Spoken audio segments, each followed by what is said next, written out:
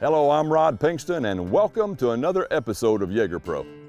The most difficult task on every hog control project is getting people within the county to cooperate and work together. So I'll cover this topic in our basic training segment.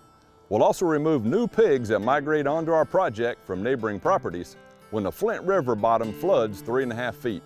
Once again, using the most efficient process and products while teaching the art and science of integrated wild pig control.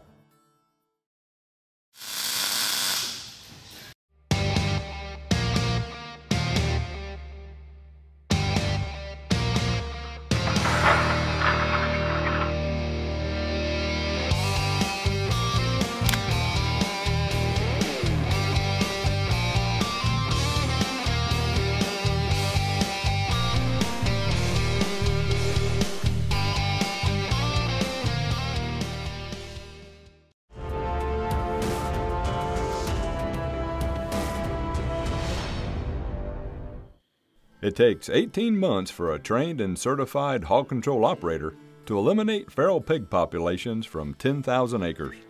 Using this proof of concept, it will take the same 18 month time period for 10 operators to eliminate feral pig populations from 100,000 acres within a county. There are at least seven factors which determine how long a property remains at zero balance after a successful integrated program has been implemented. First, are neighboring landowners willing to participate in a county program? An effective integrated wild pig control program prevents escapes, survival, method education, and reproduction from the entire generation of pigs removed from the controlled property. Future reproduction and migration would have to come from adjacent properties. Second, are there enough trained and certified hog control operators in the county? The National Wildlife Control Operators Association provides professional development within the wildlife control industry through individual training and certification of well-educated and experienced operators. The public deserves to be efficiently serviced by trained and competent professionals who demonstrate the special expertise required to practice as a hog control operator. Third, how many criminals are illegally transporting and releasing new feral pig populations? Look up your state or local hunting forum online and visit the hog hunting page. This will give you an idea of how many illegal feral pig acts are being committed in your area. Fourth, has the state passed legislation to stop intrastate and interstate transportation of feral pigs? Per Alabama's feral swine regulation, upon taking or capturing or having in possession any feral swine, it shall be unlawful to release said feral swine alive, or to transport said live feral swine. All feral swine taken by traps, or dogs, or otherwise, must be killed on site. Furthermore, it shall be unlawful to release any live domestic swine into the wild. Fifth, how well are law enforcement personnel enforcing these state laws? The primary reason we have a huge problem now is because people have been illegally relocating pigs for decades to start new hunting populations. States must pass and enforce these laws to ensure captured pigs, either by traps or dogs, never make it back into the rural landscape.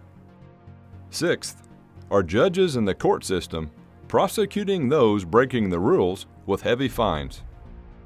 In Georgia, it has been illegal to release feral pigs since 2011, with a minimum fine of $1,500 and a maximum of $5,000. Seventh, how will the Integrated Wild Pig Control Program be funded?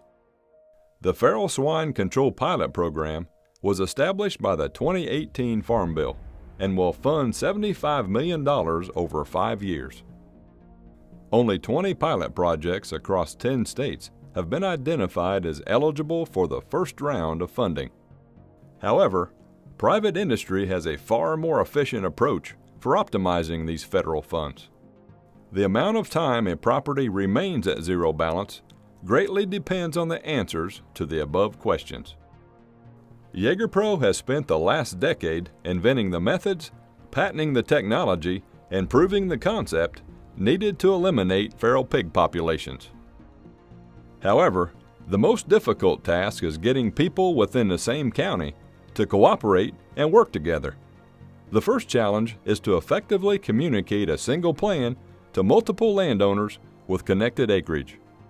Currently, a collaborative attitude towards applying an integrated whole sounder approach does not exist. Most agencies tend to be selfish and hold individual perspectives about the topic. We developed a hog control cooperative publication, which provides a template for state, federal, academic, private industry, and stakeholders to work together towards a shared and measurable goal. Our definition of a hog control cooperative is a county organization of people established for the purpose of implementing integrated wild pig control to large tracts of land by cost sharing expenses for hog control operator labor and equipment via federal Farm Bill funding. This effort requires a group of producers and landowners who are motivated to achieve the same mission on multiple properties at the same time to produce a mutual benefit. This is our protocol for creating a successful county-wide integrated wild pig control program. Form a county hog control cooperative to manage large tracts of land by sharing labor and equipment and cost share expenses with NRCS via Farm Bill funding. Standardize hog control operator training and certification through the National Wildlife Control Operators Association to accomplish whole sounder removal. Employ local residents in rural communities to implement the program. One hog control operator will be certified for every 10,000 acres in the county. Coordinate public and private roles to execute a multi-agency, multi-landowner, whole sounder approach in 10,000 acre increments to impaired watersheds and damaged property throughout the entire county. The feral pig problem will ultimately be resolved when we scale professional training and certification to efficiently remove several million pigs annually. Legislation must also be passed and enforced in all 50 states to stop illegal transportation and release of feral pigs for recreational sport hunting. Success cannot be achieved until each county stops new populations from being established and starts working together towards a shared and measurable goal. To view the entire 30 minute episode, please tune in to RFD TV. Our weekly show airs Tuesday nights at 9:30 p.m. Eastern, 8:30 p.m. Central, channel 231 on Dish Network and channel 345 on DirecTV.